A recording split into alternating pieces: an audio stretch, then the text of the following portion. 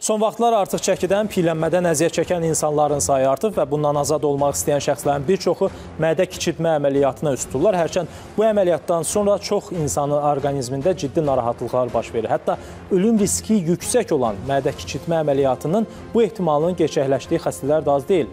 Bəs bu əməliyyatın xeyirli tərəfləri yanaşı zərərli təsirləri də varmı? Son zamanların dəbdə olan əməliyyatlarından biri də mədə kiçiltmədir. Həddindən artıq çəkisi çox olan insanlar bu əməliyyata üst tuturlar.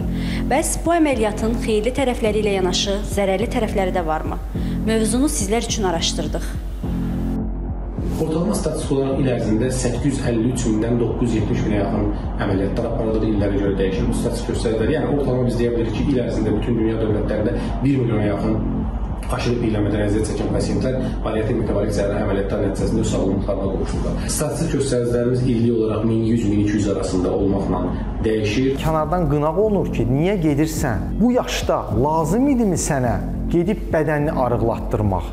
Əsla belə deyil. Bu insanlar bədənlərini arıqlatmaq üçün gəlmirlər. Şəkərli diabetdən, oynaq xəstəliklərindən, qaraciyər piylənməsindən, artrozlardan, e, ürəyin işemik xəstəliyindən və digər metabolik xəstələrdən xilas olmaq üçün gəlirlər. Mədə kiçiltmə əməliyyatı olan qəhrəmanımız 54 yaşlı Sevinç Yusif də piylənmədən əziyyət çəkən insanlardan olub. O deyir ki, bu əməliyyat sayəsində artıq sağlamlığına qovuşub. 2018-ci ildə çəkim 120 kiloqram idi.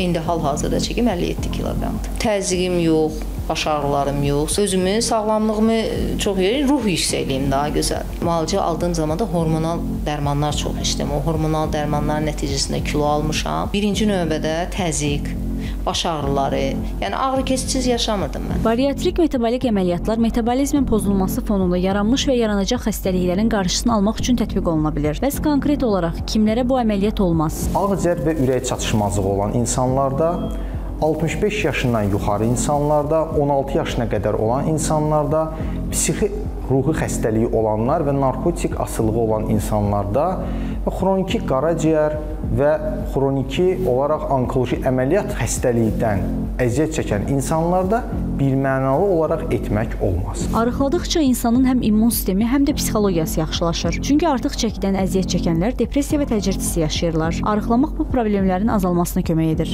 Sosial həyatdan uzaqlaşmaq, ünsiyyətdən uzaqlaşmaq, öz ortamında sevilən olmamaq, özgüvən azlığı və özünü sübut edə bilməməklə bağlı olan psixoloji problemlər yaradır. Mütəxəssislərin sözlərinə görə bu hal daha çox qadınlara aiddir. Onlar əməliyyatdan sonra problemlərin aradan qalxdığını hiss edirlər. Çünki çıxış yolunu məhz bu əməliyyatda görürdülər. Əməliyyatdan sonra olan digər psixoloji problemlər yaşanılır ki, qida asılılığı olan qadın artıq müəyyən çərçivələrdə, müəyyən disiplində qidalanmalıdır. Qadınlar demək ki, sırf əməliyyat nəticəsində deyil, eyni zamanda psixoloji olaraq da öz problemlərini atlatmağı bacarmalıdırlar. Bəs mədə kiçiltmə əməliyyatının gələcəkdə hər hansısa bir fəsadı ola bilərmi? Xüsusilə onkoloji xəstəliklərə yol açma riski varmı? Piylənmədən əziyyət çəkən insanlar onkoloji xəstəliklərlə daha tez üzləşə bilərlər. Hansısa bir onkoloji xəstəliyin aparılmış mədə kiçiltmə əməliyyatı ilə eyni vaxtda düşdüyünü nəzərə alaraq yanlışlıqla